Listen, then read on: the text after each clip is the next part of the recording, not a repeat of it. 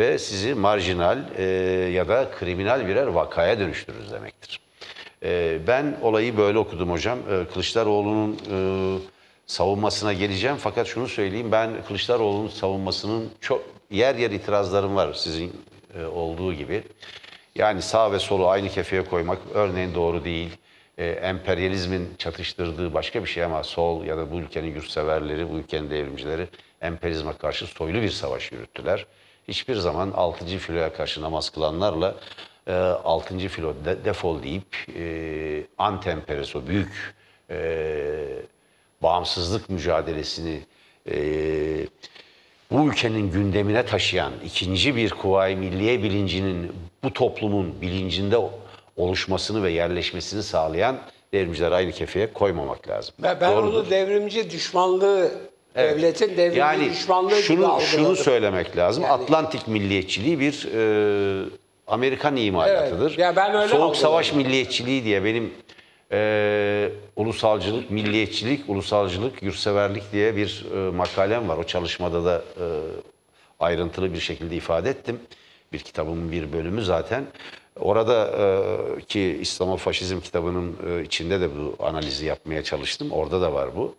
E, Atlantik bizdeki milliyetçilik geçen yüzyılın başındaki ulus kurucu, demokratik e, Türkçülükle hiçbir Değil, ilgisi yok. değil. Soğuk savaş milliyetçi. Tabii bu soğuk Tabii. savaş milliyetçiliğidir. Tabii, çok- yani Yusuf Akçura, yani e, Akçuraoğlu Yusuf Bey, e, Ziya Gökalp, İsmail Gaspıralı gibi Ziya Gökalp ve diğer arkadaşların Tevfik Fikretler, Namık Kemaller hepsi bu çizgide değerlendirilebilir. E, bunların temsil ettiği ki bunlar Atatürk'ün aynı zamanda Mustafa Kemal'in e, bir Etkilendiği e, etkilendiği kişilerdir. Bazıları bunun yol arkadaşıdır ve bunlardan önemli bir bölümü Harbiye'lidir zaten. Yani Yusuf Akçura Harbiye mezunudur. Yani Kırımlı bir Türktür. Ee, ve İstanbul'da Harbiye e, mektebini bitiren ve oradan e, kurmay yüzbaşı olarak mezun olan, kurmay eğitimini de gören önemli bir entelektüeldir. Onun Üç Tarzı Siyaset kitabı e, müthiştir. Yani bugüne kadar yayınlanmış en iyi kitaplardan biridir e, o tarihte. E, bununla bir ilgisi yok. Atlantik milliyetçileriyle ki şunu söylemek doğrudur, bu üzerinde düşünülebilir.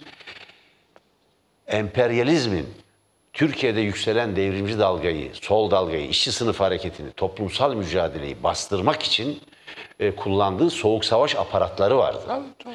Bir dönem bu Komünizmle Mücadele Derneği ve İslamcılardı. 12 Eylül'den önce de maalesef neydi? Milliyetçi Hareket Partisi ve ülkücü kuruluşlardı. Bunları aynı kefede değerlendirmemek lazım. Bu kaydı düştükten sonra ben şunu söylemek isterim. Kılıçdaroğlu'nun savunması son dereceyi cesur. Ben kendisini kutluyorum. Ve bu savunma Kılıçdaroğlu'nu Türkiye'de yeniden etkili bir siyasal aktör haline getirdi. Şey de e, Özgür Özel de çok doğru Mansur Yavaş'la birlikte e, duruşmayı izliyor. Sadece Mansur Yavaş değil işte Ümit Özdağ gidiyor, başkaları yani birçok siyasetçi. Mithat Sancar da var. Mithat Sancar, eski e, HDP e, eş genel başkanı Mithat Sancar, Ümit Özdağ e, ve başka siyasetçiler de orada. E, Özgür Özel ve Mansur Yavaş'ın da orada olması son derece e, anlamlı ve önemli. Zaten Evet, Tunceli Belediyesi'nin önünden sıcak görüntüler geliyor. Evet, arkaya yansıtalım. Evet, polis ablukaya almış hocam. Biz üzerinde konuşalım. Şu anda bu canlı görüntü değerli seyirciler. Burası Tunceli e, Belediye Başkanlığı binası. Fatih Maçoğlu, Mehmet Fatih Maçoğlu beni orada ağırlamıştı ve şu alanda da işte konferans ve kitap imzası gerçekleşmişti. Polis kuşatmış e, Tunceli Belediyesi'ni. E, evet bir barikat da kurmuş. E, arkada belediye binası var. Görülen bina belediye binası. Dolayısıyla giriş çıkışlar yasaklanmış. Gece geç saatte ki mesai saatinin bitiminde açıklanan bir görevden alma kararı bu. Cuma, Evet. Cuma günü. Evet. Cuma mesai saati sonunda. Mesai saati sonunda. Burası ana giriş kapısı değil hocam. Ee, burası çevresi. Ana giriş kapısı otobüsün arkasında ya. Otobüs nedeniyle, polis otobüsü nedeniyle göremiyoruz. Gördüğüm kadarıyla orada bir de Toma var veyahut bir zırhlı polis polis aracı var. Evet, zırhlı polis aracı var. Evet. Şu anda sıcak görüntüler değerli seyirciler. Bu işte AKP iktidarının nasıl bir Türkiye tasarladığının e, fotoğrafıdır, belgesidir. Canlı yayında bunu e, sizlerle paylaşıyoruz ama biz diğer gündemle devam edelim yeniden. E, Kılıçdaroğlu'nu yeniden büyük bir siyasal aktör haline getirdi. Şöyle başlıyor konuşması. Ayrıntılarına gireriz. Konuşmama başlamadan önce iki hususa dikkat çekmek istiyorum diyor. Birincisi ben buraya işlediğim bir suçtan ötürü kendimi savunmak için değil, işlenen suçları kayıtlara geçirmek ve hesabını sormak ve tarihe not düşmek için geldim. Maruz bırakıldığım bu hukuksuzluğun öznesi ve sebebi olmadığınızı biliyorum yargıçlara diyor. Tarih bana eee, söyleyeceklerimin hiçbirisinin şahsınızla ilgisi yoktur. Ancak bilmenizi isterim ki sizinle ortak bir noktada buluştuk. Tarih bana gerçekleri söyleme görevi verdiği gibi size de bu gerçekleri kayıt altına alma fırsatı tanımıştır.